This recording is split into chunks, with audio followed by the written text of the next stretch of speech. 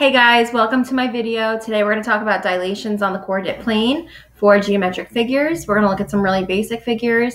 We're going to go through what a reduction would mean for a figure for a dilation and an enlargement. Um, you can have a figure, a geometric figure, get smaller. That would be the reduction that we're going to look at the top. And you can have a figure get bigger or enlarge. And that's what we're going to see here at the bottom. Um, anytime you're undergoing a dilation where the R, the value that it's being changed by, that ratio, is a value that's less than 1, that's going to make it become smaller. So here, if I gave you a value of 1 third, I said this figure here, triangle ABC, is going to undergo a dilation of 1 third. That would mean that I would look at this image, my pre-image, I would first want to make note of what my coordinate points are, and you can see I have it listed here on the screen. And that would mean I would simply want to multiply each x and y value by one third.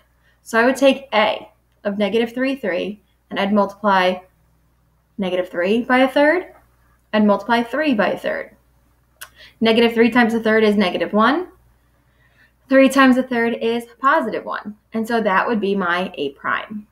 Okay, then my b prime, and my C prime, and that would be my new value. If I wanted a figure to undergo an enlargement, okay, that would mean I would have a value that I'd be multiplying that's greater than 1. If I gave you a value of 3, that would mean I would take each one of these values and simply multiply the x and y values by 3.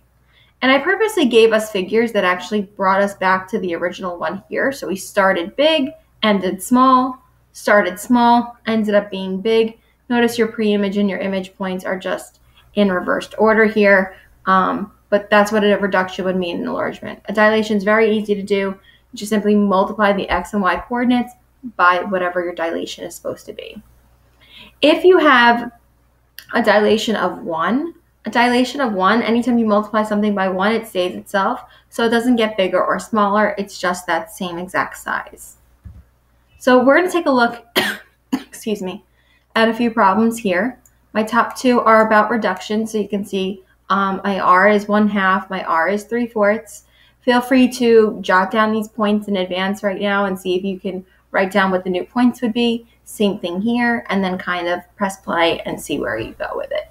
So triangle ABC, okay, has pre-image points of negative 3, 4, negative 3, 3, and 2, negative 3. If I was to have this figure undergo a dilation of 1 half, I'd multiply every x and y value by 1 half. So my a prime can become negative 1.5 and then 2. My b prime, negative 1 half, negative 1 half. My c prime, 1, negative 1.5. And you can imagine if we saw before, if a reduction, a value less than 1, makes the value smaller, the new image smaller, then we can already assume what this is going to look like. And if you made these points, excuse me, and if you made these points, it would look just like this. A reduction of 3 fourths. So it's going to be a smaller, a small, it's going to be a reduction, but it's not going to be as small as a reduction of 1 half. It's going to be a little bit bigger. Think about if you were multiplying something by 3 fourths. Um, if you multiplied 8 by 3 fourths, you would get 6. If you multiplied 8 by a half, you would get 4. So this is going to be smaller, but not as small as this one was compared to its pre-image. My pre-image points here, D is at negative 3, 4, E is at 3, 4, F is at 3, negative 4, and G is at negative 3, negative 4. If I multiply all of these by 3 fourths, D prime would be negative 2.53, E prime is 2.253, F is 2.25, negative 3, and g would be negative 2.5, negative 3.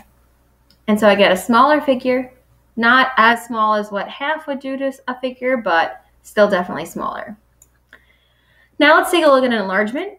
So, and I have an enlargement of 2.5 and then an enlargement of 2. So that would simply mean I'm going to take my x and y values. I'm going to multiply each one by 2.5. Same thing here. I'm going to take my x and y values and multiply everything by 2. So, hij. H is at negative 1, negative 1. I is at 2, negative 1. And J is at positive 2, 1. If I multiply H by 2.5, I would get negative 2.5, negative 2.5. I prime would be 5 comma negative 2.5 and J prime would be 5, 2.5.